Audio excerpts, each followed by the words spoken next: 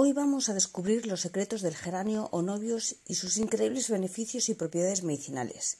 También te hablaré sobre los cuidados que debes dar al geranio para que luzca radiante en nuestro patio o jardín.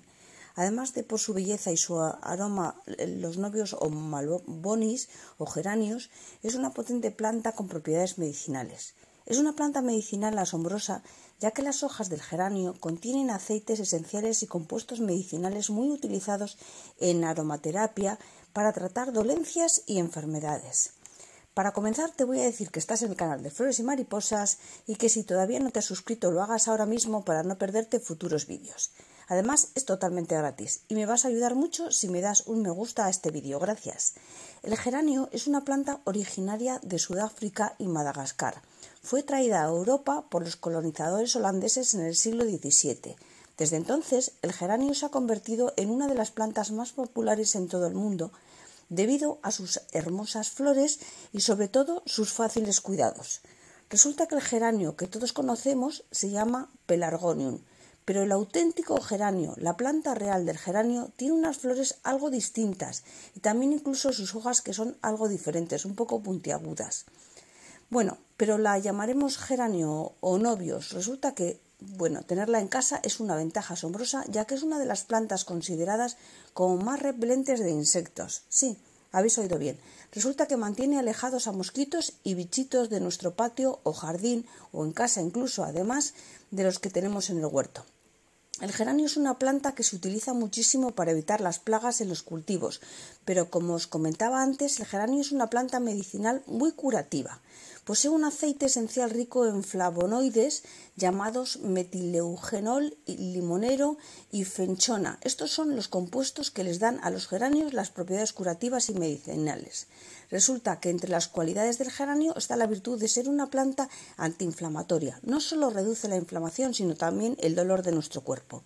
El geranio también es una planta antibacteriana, es decir, elimina las bacterias nocivas de nuestro organismo, sobre todo si la consumimos regularmente. También tiene propiedades antipasmódicas, es decir, reduce los espasmos musculares, pero también los calambres de las extremidades.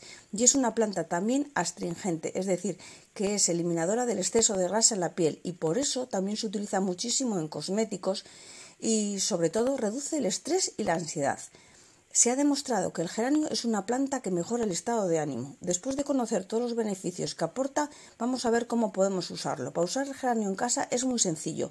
Primeramente puedes usar el, aceite esencial de geranio que tiene propiedades aromáticas. Podemos aplicarlo directamente sobre nuestra piel para tratar problemas como el acné o la inflamación.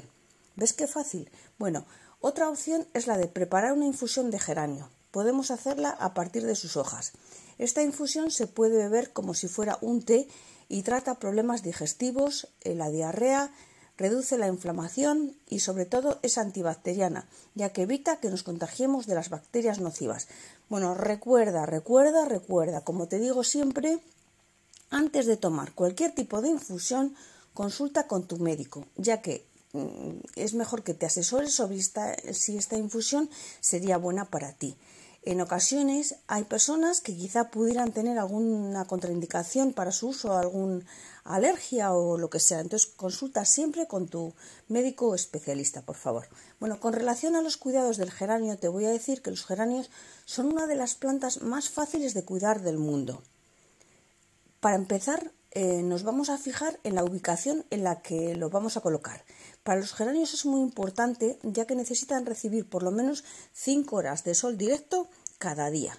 Con relación al sustrato, la verdad es que el geranio es muy poco exigente, así que cualquier sustrato rico en nutrientes le servirá para crecer muchísimo.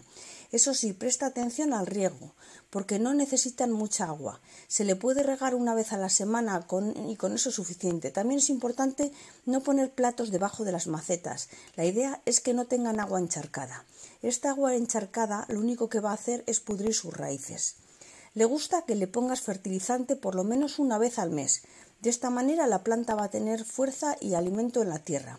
Es importante que eliminemos las hojas en mal estado y, mm, a ver, y puedes la parte de la planta que no se encuentre en buen estado, pues la cortas, la podas. Eh, solamente lo que ves tú que está como feo. ¿eh? Esto le ayuda mucho al desarrollo y crecimiento de la planta.